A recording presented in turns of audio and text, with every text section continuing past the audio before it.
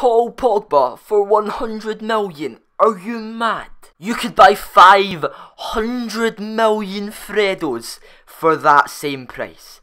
500 million. Today I'm going to be going through how overrated Paul Pogba actually is and how he's not worth 100 million pounds.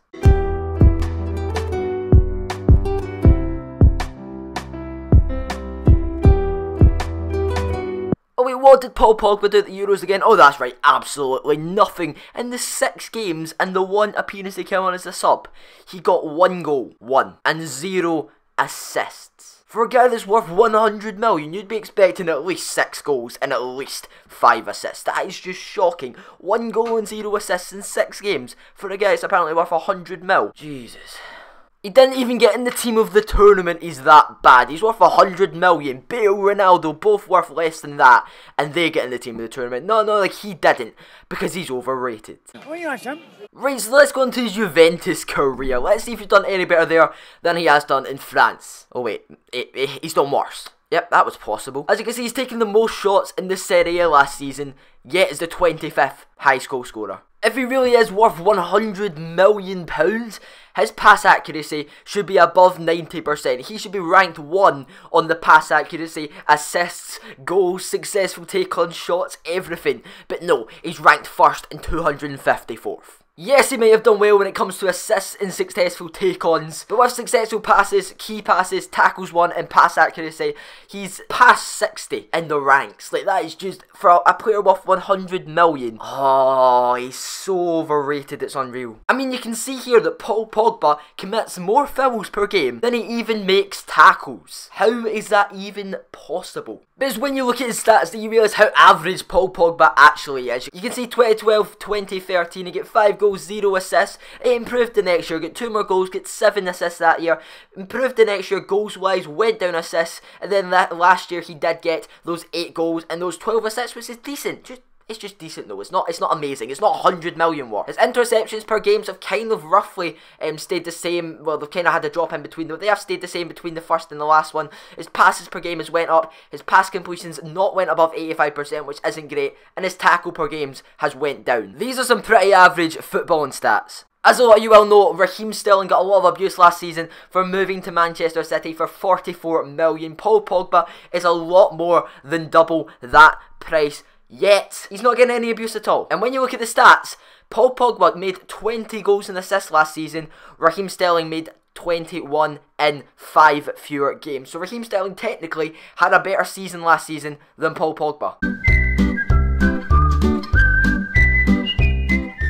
But now we get to the worst part of it all. That's right. He used to be a Manchester United player. Can this get any more messed up? So he was at Manchester United as a youth player before getting let go to Juventus for a price of nothing. He went for absolutely free. Oh, it's like you just let one of your players go for free and four years later you're buying him back for 120 million euros. And yet nobody else seems to see anything wrong with this. Is it just me? They could have had him for free if they'd waited. But no, let's just give him to Juventus and then buy him back four years later for 120 million. Seems like a good idea. They picked an aging Paul Scholes, a like 30 plus year old Paul Scholes over him. They did not see his potential? Like, surely you'd be able to see his potential. If I was Paul Pogba, I would not want to join back to a team that rejected me as a youth player. I would just stay Juventus if I was him, or maybe even wait for a bigger offer for Real Madrid and rather join them, because Man United aren't even in the Champions League. If he joins Man United, he's not getting Champions League football next season. Why would you do that when you could go to Real Madrid?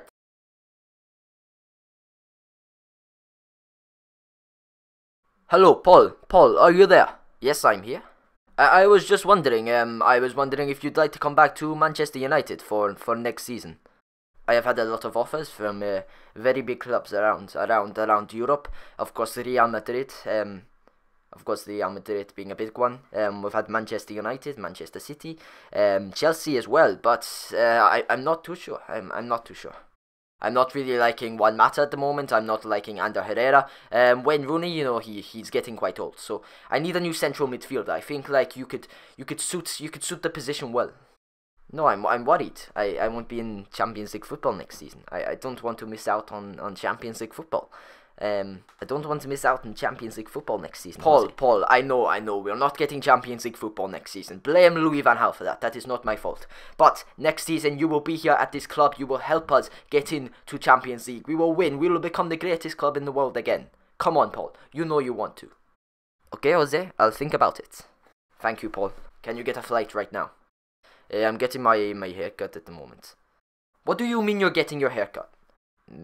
I could I could probably make the the the the ten o'clock flight. Okay, Paul. I'll see you soon. What is it, Linda?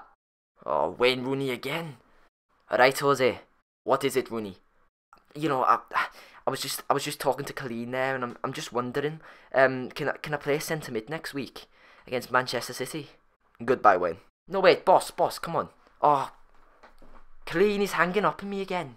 What do I say? So yeah, some questionable accents and that, but I feel like that is probably the way the conversation did, in fact, go. And this is just my opinion, guys. Pog Pogba is one of the most overrated players at the moment in football. I feel like he, he's just, he's nowhere near worth 100 million, guys. If you agree with it, make sure to tell me in the comment section down below. If you don't as well, make sure to tell me in the comment section down below. And just one more thing, for all you Man United fans watching this, I might be a bit annoyed at this point. Here's something that might cheer you up.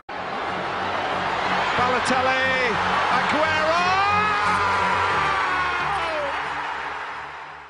anyway guys, if you have enjoyed the video, make sure to smash the like button, comment down below as I said, what do you think of today's video, do you want to see more rant videos like this in the future, make sure to tell me, subscribe guys as well if you're new to the channel, and apart from that, I'll see you guys next time.